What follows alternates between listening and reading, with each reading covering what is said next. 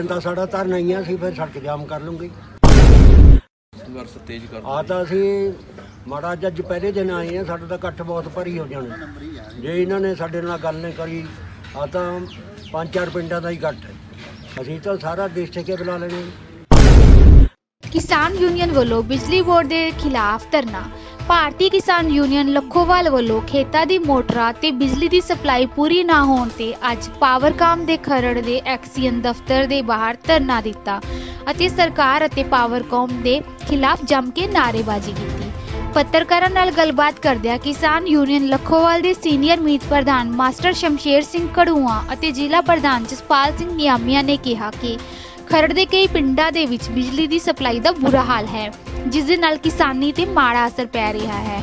ਉਹਨਾਂ ਕਿਹਾ ਰੋਜ਼ ਮੀਡੀਆ 'ਚ ਬਿਜਲੀ ਬੋਰਡ ਦੇ ਪ੍ਰਚਾਰ ਆਈ ਜਾਂਦਾ ਸਰਕਾਰ ਦਾ ਪ੍ਰਚਾਰ ਆਈ ਜਾਂਦਾ ਵੀ ਕਿਸਾਨਾਂ ਨੂੰ ਅਸੀਂ 8 ਘੰਟੇ ਬਿਜਲੀ ਰੋਜ਼ ਦੇ। ਜਦ ਕਿ ਇੱਕ ਮਿੰਟ ਆ 12 ਪਿੰਡ ਹੈ ਜੀ ਜਿਹੜਿਆਂ ਨੂੰ ਬਿਜਲੀ 16 ਤਰੀਕ ਤੇ ਮੁੜ ਕੇ ਆਈਓ ਨਹੀਂ। ਅੱਛਾ ਜੀ। ਇਸ ਲਈ ਅੱਜ ਹੁਣ ਤੱਕ ਕਣਕ ਨੂੰ ਪਾਣੀ ਨਹੀਂ ਲੱਗਿਆ, ਆਖਰੀ ਪਾਣੀ ਲੱਗਣਾ। ਜੇ ਆ ਪਾਣੀ ਨਾ ਲੱਗਿਆ, ਤਾਂ ਝਾੜ ਕੱਢ ਜਾਣਾ, ਹੁਣ ਵੀ ਕੱਢ ਜਾਣਾ।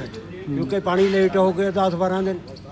ਇਸ ਲਈ ਸਾਡੀ ਮੰਗ ਹੈ ਵੀ ਜਿਹੜੀ ਆ ਬਿਜਲੀ ਨਹੀਂ ਦਿੱਤੀ, ਇਹ ਦਿਨ 'ਚ ਦਿੱਤੀ ਜਾਵੇ। ਜੇ ਸਾਡਾ ਕੋਈ ਵੀ ਇਹਨਾਂ ਦਾ ਬਿਜਲੀ ਬੋਰਡ ਦਾ ਉੱਚ ਅਧਿਕਾਰੀ ਸਾਡੇ ਨਾਲ ਗੱਲ ਨਹੀਂ ਕਰਦਾ, ਸਾਨੂੰ ਵਿਸ਼ਵਾਸ ਨਹੀਂ ਦਵਾਉਂਦਾ ਵੀ ਬਿਜਲੀ ਆਊਗੀ। ਐਕਸ਼ਨ ਦਾ ਸਾਡਾ ਧਰਨਾ ਹੀ ਆ, ਅਸੀਂ ਫਿਰ ਸੜਕ ਜਾਮ ਕਰ ਲੂੰਗੇ। ਸੰਘਰਸ਼ ਤੇਜ਼ ਕਰ ਆ ਤਾਂ ਅਸੀਂ ਮਾੜਾ ਅੱਜ ਪਹਿਲੇ ਦਿਨ ਆਏ ਆ ਸਾਡਾ ਤਾਂ ਇਕੱਠ ਬਹੁਤ ਭਰੀ ਹੋ ਜਾਣਾ। ਜੇ ਇਹਨਾਂ ਨੇ ਸਾਡੇ ਨਾਲ ਗੱਲ ਨਹੀਂ ਕਰੀ ਆ ਤਾਂ ਪੰਜ ਚਾਰ ਪਿੰਡਾਂ ਦਾ ਹੀ ਇਕੱਠ ਹੈ। ਅਸੀਂ ਤਾਂ ਸਾਰਾ ਦੇਸ਼ ਠੇਕੇ ਬੁਲਾ ਲੈਣੇ।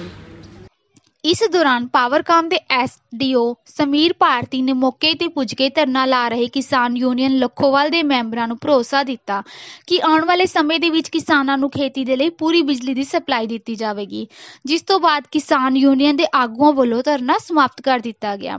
ਖਰੜ ਤੋਂ ਯਸ਼ਪ੍ਰੀਤ ਸਿੰਘ ਦੇ ਨਾਲ ਸ਼ਮਿੰਦਰ ਸਿੰਘ ਦੀ ਰਿਪੋਰਟ।